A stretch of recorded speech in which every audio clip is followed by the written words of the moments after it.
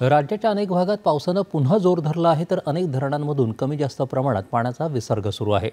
मुंबई शहरासह मुंबई उपनगर तसंच ठाणे नवी मुंबईत पावसाची संततधार सुरू आहे. नवी मुंबईला पाणीपुरवठा करणारं मोरबे धरण काठोकाठ भरण्याच्या मार्गावर असून नदीकाठच्या गावांना सतर्कतेचा इशारा देण्यात आला आहे. पालघर जिल्ह्यामध्येही संततधार पाऊस सुरू असणं धरणाच्या पातळीत वाढ होत आहे.